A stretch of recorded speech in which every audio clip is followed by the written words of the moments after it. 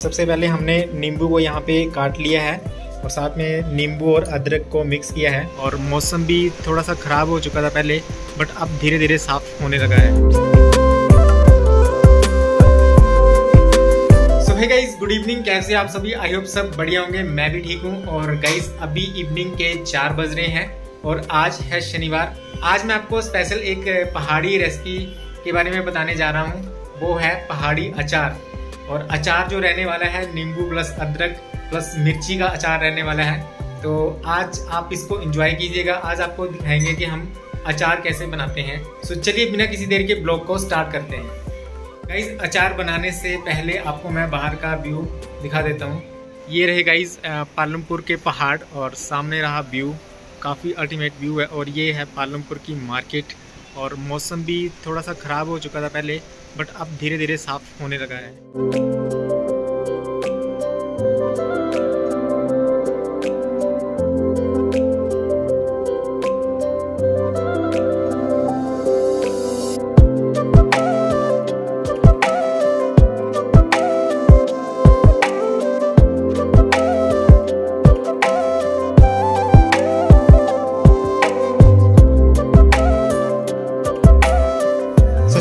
अभी हम अचार बनाने जा रहे हैं तो सबसे पहले हमने नींबू को यहाँ पे काट लिया है और यहाँ पे मिर्ची वगैरह भी हमने छोटी छोटी करके काट ली है और साथ में नींबू और अदरक को मिक्स किया है और अभी इसको थोड़ा प्रोसेस में हम कर रहे हैं कि कैसे हम चार को बनाते हैं। तो अभी हम इसमें नींबू निचोड़ रहे हैं और इसमें हमने काला नमक भी मिलाया हुआ है।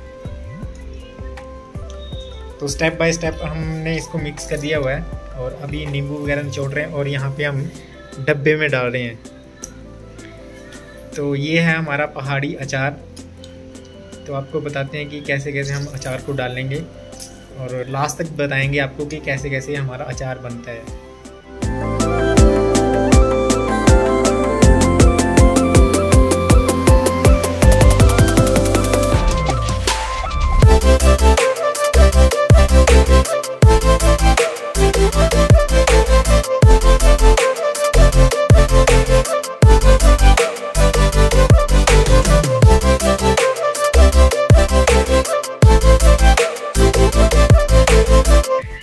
तो चलिए गाइज़ अभी हम इसमें नेक्स्ट जो प्रोसेसिंग करने वाले वो है चीनी की है।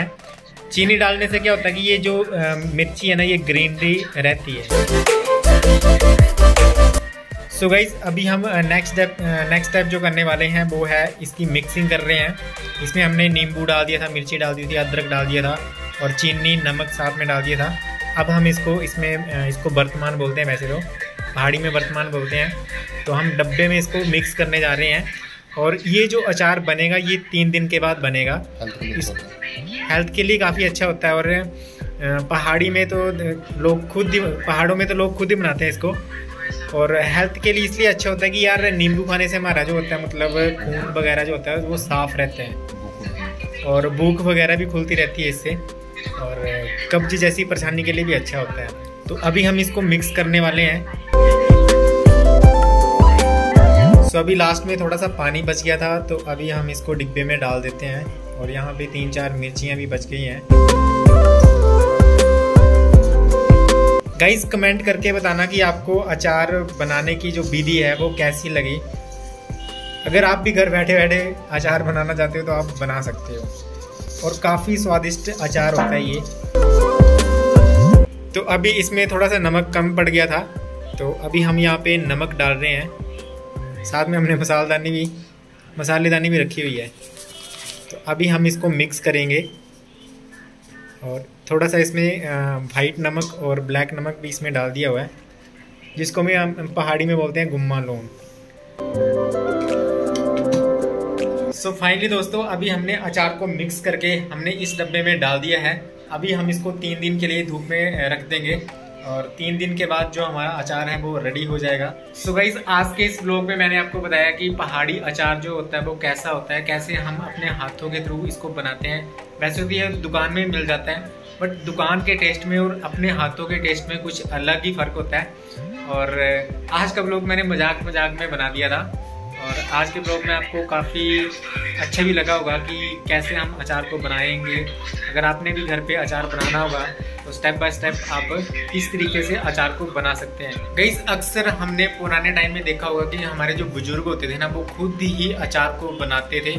अपने जो पुराने डिब्बे वगैरह होते थे, वर्तमान बोलते थे उसको तो वहाँ पे वो अचार को डालते थे। तो आज के टाइम में मैं देख रहा हूँ कि ये कल्चर जो है, वो धीरे धीरे ख़त्म होता जा रहा है। तो यार, हम, अगर हम इस कल्चर को बनाए रखेंगे तो काफ़ी अच्छा रहेगा। बिकॉज़ जो अपने हाथों से बनाई गई चीज़ें होती है ना, आज भी हमारे हिमाचल में जो ये ट्रेडिशन है ना, वो आज भी चल रहा है। बट कहीं कहीं पे ये ट्रेडिशन बिल्कुल ही ख़त्म होता जा रहा है। मीन्स दैट कि वो जो कल्चर है ना, पहले वाला, वो आज के टाइम में नहीं रहा है। तो मैं अपनी वीडियो की, अपनी वीडियोस के थ्रू यही दिखाने की कोशिश करता हूँ यार, जो हमारा हिमाचल का ट्रेडिशन है ना, वो दोबारा से वापिस आए। तो मेरा मेन ब्लॉग बनाने का मकसद यही होता है कि यार, हमारा जो हिमाचल का ट्रेडिशन है, यानी कि कल्चर है, वो दोबारा से वापिस आए और लोग उसको दोबारा से फॉलो करें। बिकॉज़ आज के टाइम में आपने देखा होगा कि लोग ज़्यादा से ज़्यादा मॉडर्न कल्चर में आते जा रहे हैं। मतलब कि पुरानी चीज़ों को छोड़ते जा रहे हैं। तो मेरा आज के इस ब्लॉग में यही मैसेज है कि प्लीज़ अपने ट्रेडिशन को फॉलो करें। प्लीज़ अपना जो हिमाचल है उस ट्रेडिशन को साथ लेके चलें। सो so, आज के इस ब्लॉग में सिर्फ़ इतना ही। अगर ब्लॉग अच्छा लगे तो प्लीज़ इसको लाइक कीजिएगा। इस ब्लॉग को ज़्यादा से ज़्यादा लोगों तक शेयर कीजिएगा। और हाँ अगर आप चैनल पे नए तो प्लीज़ चैनल को सब्सक्राइब भी कीजिएगा। मिलते इस और भी ऐसे इंटरेस्टिंग ब्लॉग के साथ। तब तक के लिए thank you so much for watching this video